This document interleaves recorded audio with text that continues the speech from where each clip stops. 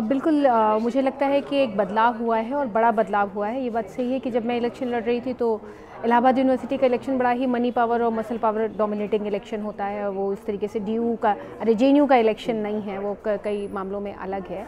और इलेक्शन को मैंने लड़ा और मैं आपको बताऊँ कि खास बात ये थी कि जहाँ की लड़कियाँ कभी पॉलिटिकल नहीं हुआ करती थी, मेरे इलेक्शन में लड़कियों ने ही सबसे ज़्यादा मेरा सपोर्ट किया। और ऐसा नहीं है कि सिर्फ़ लड़कियों ने, लड़कों ने भी साथ में सपोर्ट किया, लेकिन पूरा इलेक्शन कैंपेन जो है वो लड़कियाँ चला रही थी। और मुझे लगता है कि वो एक बदलाव की शुरुआत थी। और आप देख सकते हैं कि उसके बाद जो है बनारस में काशी विद्यापीठ में भी एक लड़की प्रेसिडेंट हुई। और इस साल अभी हमारे यहाँ रिसेंटली इलेक्शन हुए हैं। कई लड़कियों ने इवन एक हमारे ही बीच की स्टूडेंट ने प्रेसिडेंट पोस्ट के लिए भी कंटेस्ट किया है। लास्ट ईयर अलग अलग जो एफिलेटेड कॉलेजेस थे, वहाँ पे लड़कियों ने कंटेस्ट किया और उसमें उन्होंने कुछ पोस्ट को जो है, जीता भी है। और मुझे लगता है कि एक चेंज ये हुआ है कि अब ज़्यादा से ज़्यादा लड़कियाँ पॉलिटिक्स में आ रही हैं और पॉलिटिक्स में आके वो सवाल कर रही हैं। अलीगढ़ मुस्लिम यूनिवर्सिटी में अभी एक साल पहले एरम ने जो है इलेक्शन कंटेस्ट किया था और वो उनसे जब बात हुई तो उन्होंने बताया कि उनसे पहले जिस लड़की ने इलेक्शन कंटेस्ट किया था उसे एक सौ नब्बे वोट मिले थे, लेकिन एरम ने तीन हज़ार वोट जो है उनको मिले। तो ये मुझे लगता है कि बदलाव की ओर एक कदम है और अलीगढ़ मुस्लिम यूनिवर्सिटी में लाइब्रेरी को लेकर जिस तरीके से लड़कियों ने प्रोटेस्ट किया बीएचयू में अभी रिसेंटली प्रोटेस्ट हुआ। तो मैं एक बात ये कहना चाहती हूँ कि पॉलिटिक्स में ज़रूर लड़कियाँ आ रही हैं, लेकिन सिर्फ़ इलेक्शन कंटेस्ट करने तक ही उसको देखा जाना ज़रूरी नहीं है। किस तरीके से लड़कियों की आवाज़, उनके सवालों की, उनके अधिकारों की आवाज़ जिस पे वो मूवमेंट खड़ा कर रही हैं? बीएचयू जो पूरी तरीके से नॉन पॉलिटिकल था, जहाँ यूनियन बैंड है, वहाँ पे लड़कियों ने एक बड़ा मूवमेंट खड़ा किया। तो ये मैं मानती हूँ कि ये एक पोलिटिसाइजेशन है। ये एक बदलाव है, जो कि यूपी के भी अलग अलग हिस्सों में हो रहा है। अभी रिसेंटली यूपी के मुख्यमंत्री योगी आदित्यनाथ जी को लखनऊ यूनिवर्सिटी की लड़कियों ने काला झंडा दिखाया, जिसमें अपूर्वा थी, पूजा थी। तो लड़कियाँ लगातार प्रोटेस्ट भी कर रही हैं, सवाल भी उठा रही हैं और स्टूडेंट यूनियन के इलेक्शन में पार्टिसिपेट भी कर रही हैं और इससे ज़्यादा वो आंदोलनों में सक्रिय हो रही है, जो हम लोगों के लिए बहुत पॉजिटिव बात है।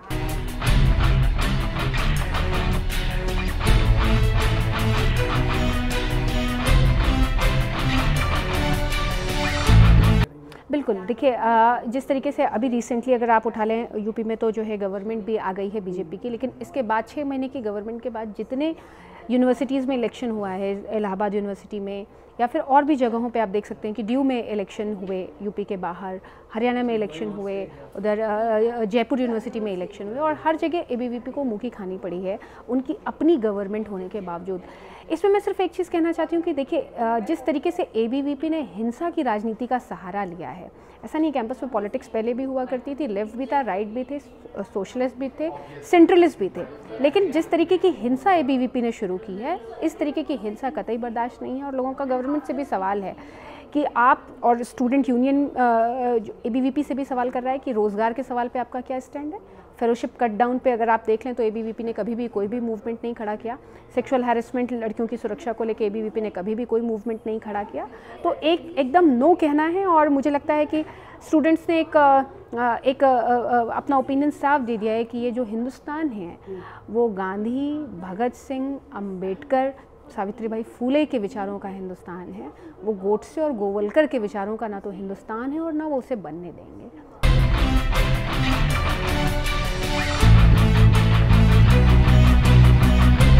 आ, बिल्कुल बहुत ही बहुत ही अमेजिंग सफ़र भी था और बहुत ही कठिन सफ़र भी है मैं आपको बताऊँ क्योंकि जिस तरीके से लड़कियों का पॉलिटिक्स करना ही मुश्किल है यूनियन में आना ही मुश्किल होता है यूनिवर्सिटी के अंदर लेकिन जब वो मेन स्ट्रीम पॉलिटिक्स में आती हैं तो उनको तमाम तरीके की दिक्कतों का सामना करना पड़ता है और पूरा पेट्रियार्कल जो माइंड है वो इतना आसान नहीं होता है लड़कियों के लिए क्योंकि आप ये देखेंगे कि पूरे देश में जिस तरीके की पॉलिटिक्स है वो किस तरीके से मनी की पॉलिटिक्स है मसल पार की पॉलिटिक्स है और अगर आप एक कॉमन बैकग्राउंड से आते हैं आपका कोई पॉलिटिकल गॉडफादर नहीं है, आपके कोई पॉलिटिकल सिनेरियो नहीं है, आप ये देख लीजिए। ऐसा नहीं कि इस देश में महिला नेता नहीं हो लेकिन क्या उन महिला नेताओं ने महिलाओं की पॉलिटिक्स की या उनको मेन स्ट्रीम में लाने के लिए कितना इनिशिएटिव लिया? ये हम लोगों के सामने एक बड़ा सवाल है।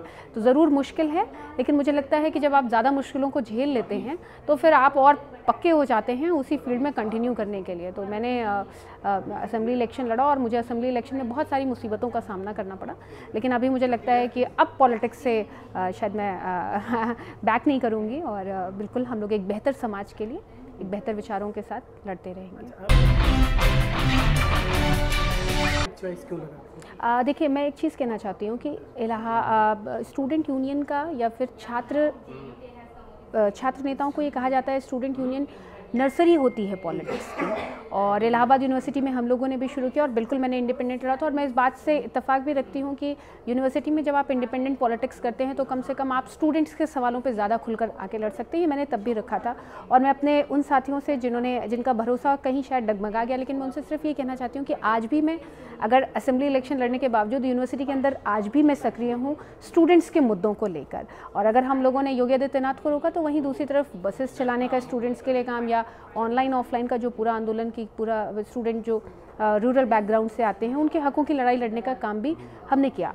मैं ये मानती हूँ कि जब आप स्टूडेंट पॉलिटिक्स से अगला कदम आप यूनिवर्सिटी के बाहर निकालते हैं तो बिल्कुल आपको किसी ना किसी आइडियोलॉजी के साथ जाना पड़ता है। और मुझे लगता है कि वर्तमान समय में आ, मैंने आपको मैं बताऊँ क्योंकि लेफ़्ट भी एक एक्सट्रीमिस्ट और वहाँ पे भी जेंडर को लेकर बहुत डिस्क्रिमिनेशन है और ए बी वी पी या बीजेपी की पॉलिटिक्स के साथ हम लोग बहुत इतफाक़ नहीं करते हैं। मुझे लगता है कि एक ज़्यादा समाजवादी पार्टी, अगर आप समाजवादी पार्टी का इतिहास देखेंगे तो उसने बहुत सारे स्टूडेंट लीडर्स को एक प्लेटफॉर्म दिया है और आप फॉर एग्ज़ाम्पल लोग जब कहते हैं कि वो केवल परिवारवाद की राजनीति है या फिर एक जातिवाद की राजनीति है तो मैं ये कहती हूँ कि आपको मुझसे बात करनी पड़ेगी और आपको ये एग्ज़ाम्पल मैं देना चाहूँगी कि अखिलेश यादव जी ने एक उस लड़की को जो कि एक कॉमन बैकग्राउंड से आती थी और जो कि यादव जाति से नहीं आती है, बिना किसी उसके उन्होंने उसके ऊपर भरोसा जताया और उसको एक सबसे बड़ी कॉन्स्टिट्यूंसी जो इलाहाबाद की है, वहाँ से लड़ने का मौका दिया।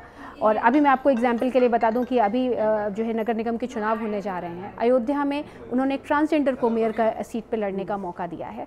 तो आपको ये देखना होगा कि हम पार्टी पॉलिटिक्स से पूरी तरीके से डिफर नहीं कर सकते। या तो हम नई पॉलिटिक्स को खड़ा करें उसको खड़ा करने का सफ़र थोड़ा लंबा है, लेकिन चूँकि हमारी लड़ाई चलती रहे और जब ये कहा जाता है कि आप पार्टी पॉलिटिक्स क्यों कर रहे हैं, देश में सारी चीज़ों को राजनीति तय करती है। और अगर आप जब तक जाके राजनीति में सक्रिय नहीं होंगे तो शायद बहुत सारे सवाल छूट जाएँगे।